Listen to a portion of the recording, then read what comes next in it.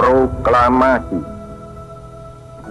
Kami, bangsa Indonesia, dengan ini menyatakan kemerdekaan Indonesia.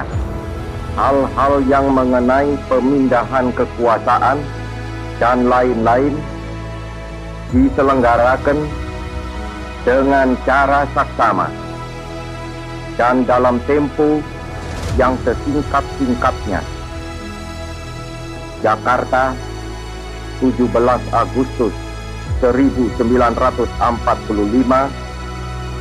atas nama bangsa Indonesia Soekarno Hatta